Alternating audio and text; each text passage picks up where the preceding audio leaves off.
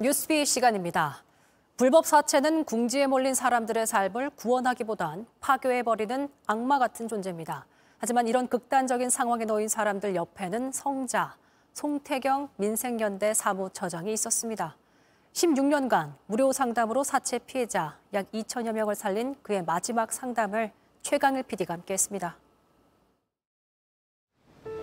지난 19일 밤 서울 영등포의 한 허름한 사무실. 한 30대 남성이 중년의 남성과 이야기를 나누고 있습니다. 원금이 없으니까 이자 더 이상 발생하지 않고요. 네, 추가 지급된 금액이죠. 네, 돌려받아야 또. 네. 사채에 덫에 걸려 지옥 같은 삶을 이어오던 남성의 얼굴이 밝아집니다. 인사소송 해가지고 네, 반환 청구를 하세요. 네, 알겠습니다. 됐죠? 네, 남성은 코로나가 종식될 수 있다는 소식이 들리던 지난 2022년 9월 식당을 열었습니다. 하지만 오미크론이 나오고 대출을 감당하지 못한 A 씨는 사채까지 손을 대고 말았습니다. 천만 원 정도로 시작을 했었고요. 근데 이제 그게 이자를 감당을 못하니까 돌려막기를 하게 되는 거죠. 부당 이자를 지불한 금액이 한 5억이 좀 넘더라고요.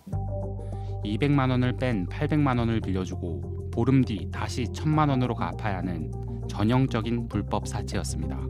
기한의 빚을 갚지 못한 남성에게 사채업자는 다른 사채업자를 소개시켜 줬습니다. 100만 원이 모자르면 그 100만 원을 빌리기 위해서 또 다른 200만 원짜리 일수를 또 쓰게 되는 거죠. 사채를. 그리고 지옥이 시작됐습니다. 밤낮을 가리지 않은 사채업자의 방문이 이어지고 가족이 받는 협박 전화는 일상이 돼버렸습니다. 돈 빌려준 사채업자인데요. 아, 나한테 왜 전화하신 거예요? 네가 나왔잖아, 분이. 사채업자들은 여자친구의 집까지 찾아오기 시작했고 빚은 이제 5억이 훌쩍 넘었습니다. 사채 피해자들을 위해 정부가 마련한 기관들도 소용이 없었습니다. 선생님, 저희가 수사 기관은 아니에요. 결국은 선생님 경찰 신고뿐이 없고요. 뭐 수사관님들마다 좀 다르시겠지만 이런 일에 대해서 경험이 많이 없으신 것도 하나의 이유였고요. 조사가 바로바로 되질 않았었죠.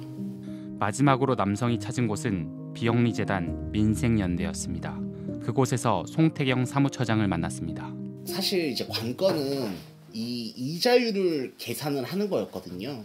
뭐 수사관 같은 경우에는 이걸 이자율을 어떻게 계산을 하면은 법정 이자를 안 넘게 볼 수도 있다 뭐 이런 식으로 말씀하셔서 사실 그 부분 때문에 좀 막막했어요. 근데 이번에 조금 상담을 좀 받으면서 다행히 길을 좀 얻은 것 같아서 네. 송 처장은 16년간 민생연대에서 홀로 불법 사채 피해자들을 사채의 늪에서 나올 수 있게 도왔습니다. 이 일을 한 것은 정치 영역이 정치 영역이 민생을 제대로 챙겨줬으면 좋은데 챙겨주지 못하는 상황. 송 처장은 원래 국회에서 일을 했습니다. 진보 정치인들과 상가 임대차법 등 다양한 민생 법안의 초안을 만들었습니다. 그러던 송 처장은 불법 사채 피해를 두 눈으로 보고 정치를 떠나 사채 피해를 막기 위한 시민단체를 만들기로 했습니다. 최소한 천 명은 넘겠죠.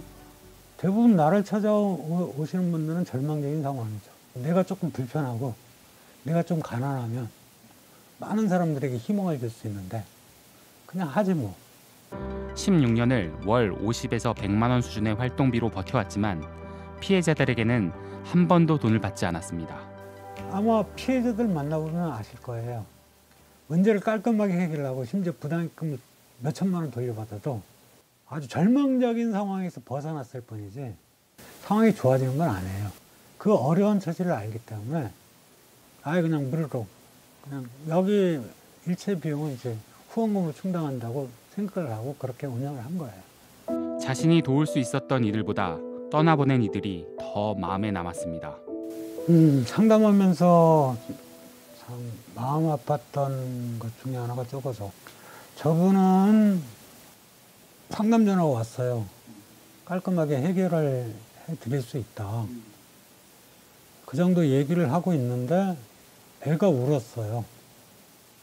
잠시 후에 통화하자. 전화가 끊겼죠. 음, 그분이 전화가 없었고요. 며칠 지나서 이제 남편분한테서 전화가 왔어요. 실종됐다고. 북한 강변에서 시선을 발견됐는데 정말 안타까운 것은 내가 전화 한 통만 해줬으면 어린아이 엄마. 그렇게 삶을 마감할 일이 없었을 건데, 내가 정원 통만 했었으면. 그게 내내 걸리죠. 마, 많이 울기도 했어요. 송 처장이 그간 도운 사체 피해자들은 약 2천여 명으로 추산됩니다. 최장집 고려대 명예교수는 송 처장에 대해 경향신문의 칼럼에서 송 처장을 진정한 진보라고 언급했습니다.